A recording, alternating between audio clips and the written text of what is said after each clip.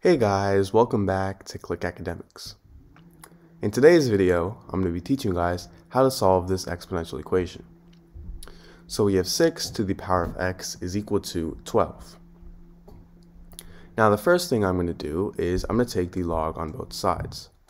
So I have log 6 to the power of x is equal to log 12. Now, an important property logarithms is that, let's say I have log a to the power of b.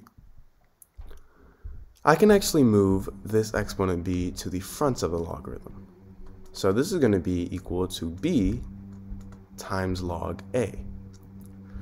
So now for log 6 to the power of x is equal to log 12, for log 6 to the power of x, we can think of a as 6 and b as x.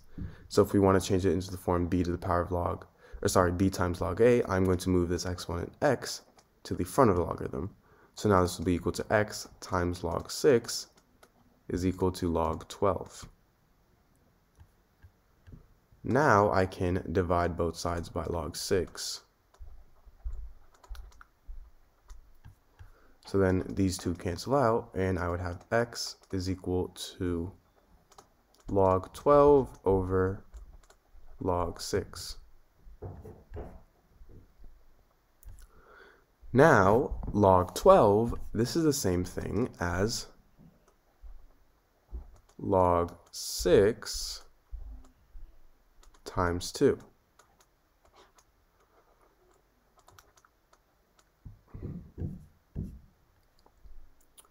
And for logarithms, an important property is, is that if we have something in the form log a times b, this is equal to log a plus log b.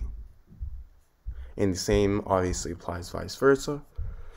So for x is equal to log 6 times 2, log 6 times 2 would be equal to log 6 plus log 2 and we're dividing this by log 6. So now we can rewrite this as log 6, oops, sorry, over log 6 plus log 2 over log 6.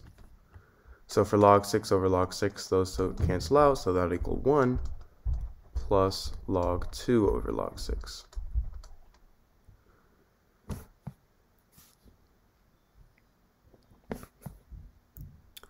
Now, log 6, I can rewrite as log 2 times 3.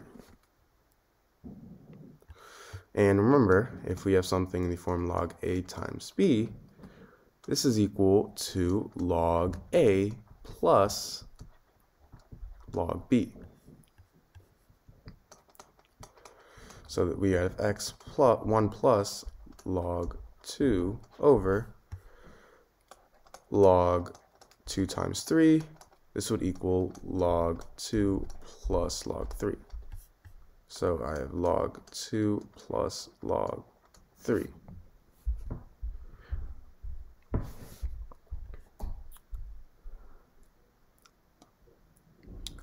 Now, the value of log 2, if you plug this into a calculator, it is approximately 0.301. And the value of log 3, if you plug into a calculator, it is approximately 0.4771. So log, we have x equals 1 plus log 2, which is 0.301, over log 2 plus log 3. So 0.301 plus plus 0.4771.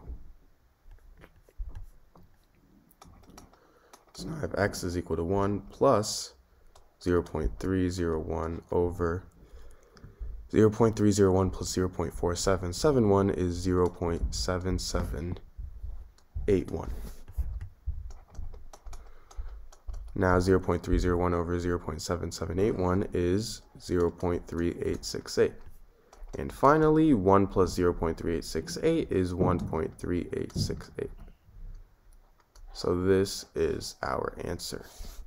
So we have 9 to the power of x is equal to 18.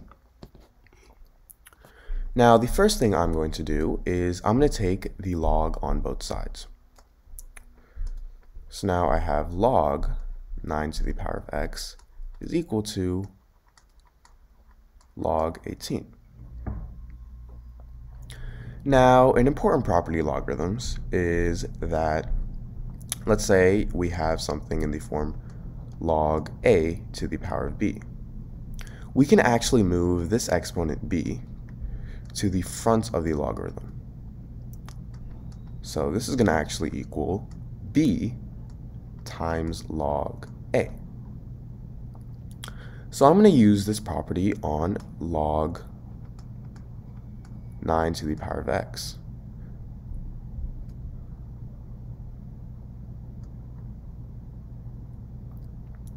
So we can think of 9 as a and x as b. So I'm going to move our x here to the front of the logarithm. So this is going to equal x times log a. So now I have x times log a is equal to, sorry, it's not a, it's 9. So I have x times log 9 is equal to log 18. Now we want to isolate x, obviously. So I'm going to go ahead and divide log 9 on both sides. So now I have x is equal to, because these two cancel out, log 18 over log 9. Now 18 is equal to 9 times 2. So I'm going to rewrite log 18 as log 9 times 2. And now we're dividing this by log 9.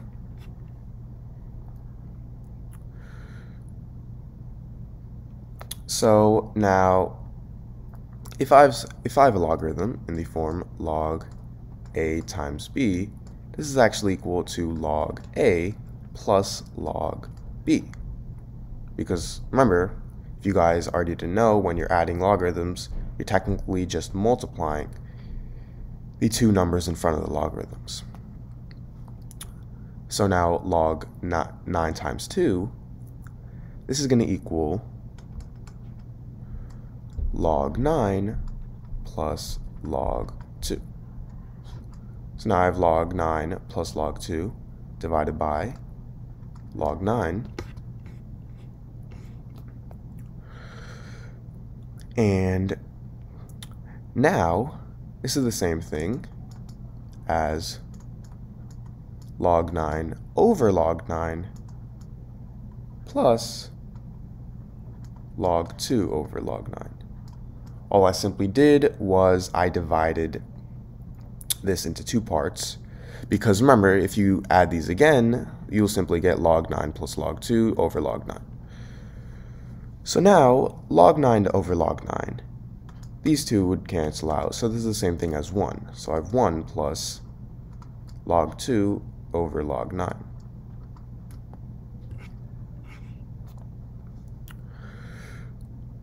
Now, log 9, well, 9 is the same thing as 3 squared. So now if I replace 3 squared for 9, I get x is equal to 1 plus log 2 over log 3 squared. Now remember, property of logarithms, that states that if we have something in the form log a to the power of b, we can move our exponent b to the front of the logarithm, so this would equal b times log a. So log 3 squared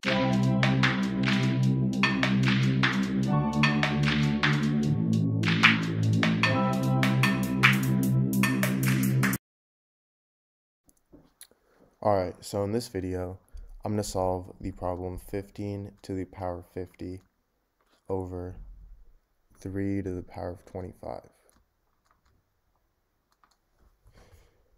So to solve this, I'm going to first start by rewriting this as 15 to the power of 25 plus 25. So we wrote 50 as 25 plus 25 over 3 to the power of 25.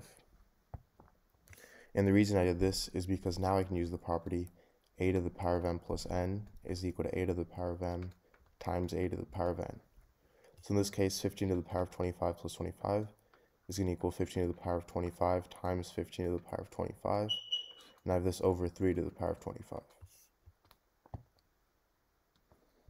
Now this is equal to 15 to the power of 25 times 15 to the power of 25 over 3 to the power of 25, which is equal to 15 to the power of 25 times 15 over 3 to the power of 25.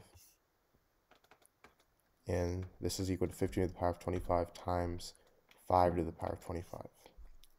Now another property of exponents is that if I have something from a to the power of m times b to the power of m, this is equal to a times b to the power of m. So this is going to equal 15 times 5 to the power of 25, which is equal to 75 to the power of 25. So this is my answer.